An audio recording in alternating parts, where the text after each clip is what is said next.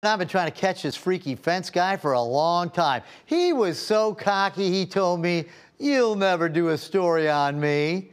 Buddy, you were really wrong.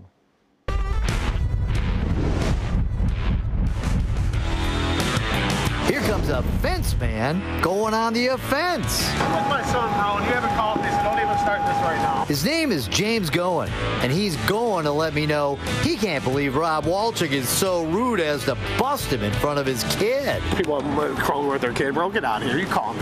Listen, you've been taking money Go from ahead. a bunch of Go people and not Go ahead. completing these jobs. Go ahead. So don't give me some moral Hey, hey, ethic. hey.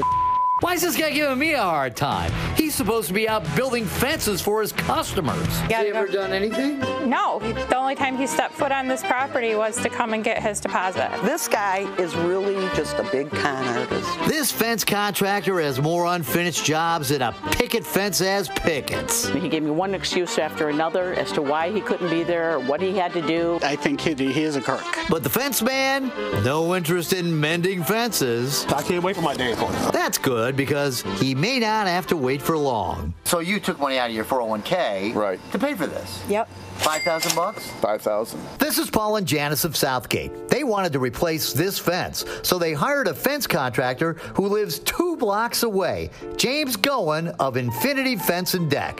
They signed the contract in June, but every time James Goin said he'd start the job, No call, no show. after months of waiting, Paul had enough of the dude two streets over. You went to his house and what happened? I knocked on the door, nobody answered, and his garage door was open, the lights were on. Nobody would come out. I gave him $1,342.50 deposit. Joe lives in Southgate too. He and the guy next door went in halves to have James Goin build this fence. Look, he did a good job. So he didn't hesitate to use the guy again when his neighbor on the other side decided to go in halves on a fence as well. Together they paid $2,600. But as you can see, there's no privacy fence here. After waiting all year, he wanted his money back. James's response? I will not receive a refund on my deposit that I've given him until he speaks with who, whomever he needs to speak with. His exact words. Who the hell is that? What does that mean? Joe filed suit, but James doesn't just allegedly cheat people around the corner. Kathy lives in Riverview. And how much did you give him? $4,600, and he cashed my check. And Some of his customers haven't just been waiting this year. You gave this guy the money not this summer, last summer? Yep, 2023. Kathy and her husband Nick paid James Goin close to a five grand deposit to tear out their old fence and put in a new one. He hadn't done a thing.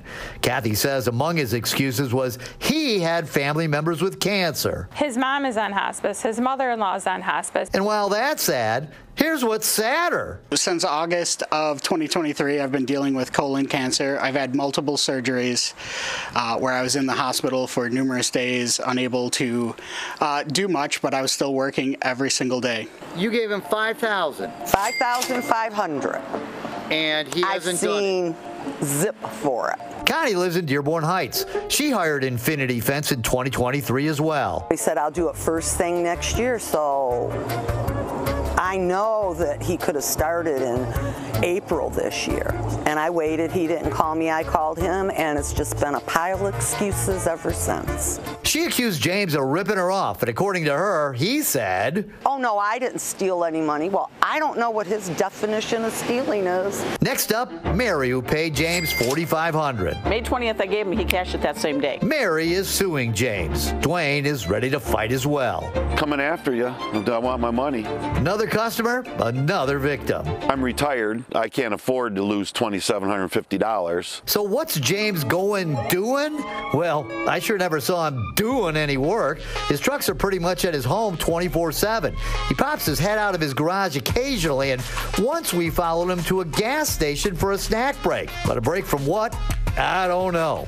Finally, he leaves, but he doesn't go put up a fence. He goes to Kroger. This is my only chance. Let's go. Hi there, James. How you doing? I'm with my son, bro, and you haven't called me, so don't even start this right now. I'm with my son at, uh, here. Okay, well, tell your son to get in the car. I need You to talk to called me. you. You haven't called me to talk to me. I've called you twice. You, haven't got back to me. You've never called me? Yes, I have. That's a flat out lie. I checked my phone records. You can call me. There's no judgments against me. There's no nothing. 313. Okay, there will be, don't you No, think? no, no, there won't be. I Okay, promise you. so what's going on with this? I got to go get my other kid from the bus stop. So you give me a call. We'll talk, okay? I promise you. I can't wait for my day in court. all right? Okay. Have a good day. Why are you not doing these jobs, James? Here's my card. Back at the station, I call James and he gives me permission to record him for broadcast.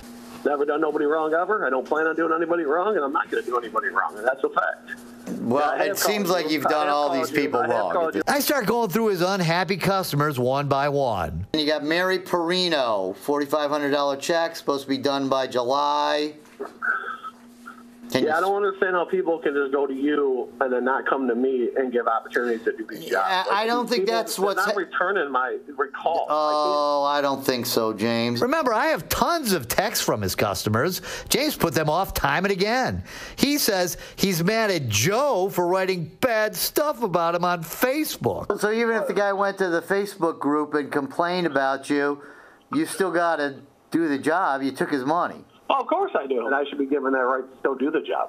Well, go do the go do the job. James Goin never gives me any real reason for not completing any of the jobs. Kathy Mullen. Can't speak on that one. Go ahead. What else you got? Next, you got Oh, Connie there's- Haynes. Connie Haynes from Dearborn. Can't speak on that one either. Why don't you just give these people their money back? That's a question that's going to have to get handled differently.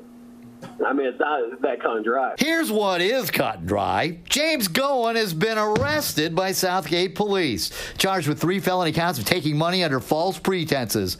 Poor James Goin. A lot has happened in the week since I confronted him in the Kroger parking lot. Goin, Goin, gone! You're in the Hall of Shame. James Goin is being held in the Wayne County Jail. His bond is $75,000, 10%, which he has not come up with. He's being charged as a habitual offender because he's already a felon. So James Goin could be going down pretty hard.